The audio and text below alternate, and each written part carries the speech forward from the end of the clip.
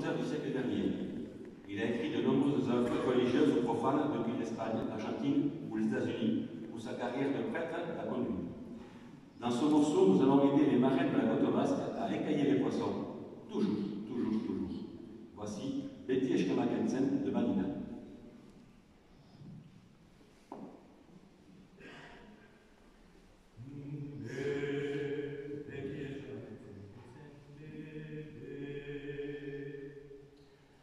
Mickey is gone, Mickey is gone, Mickey is gone, Mickey is gone,